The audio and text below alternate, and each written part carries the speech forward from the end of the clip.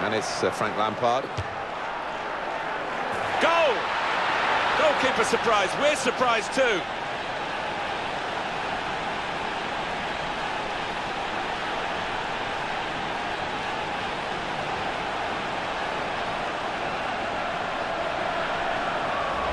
Well, he's beaten the keeper there with power, with accuracy, from distance.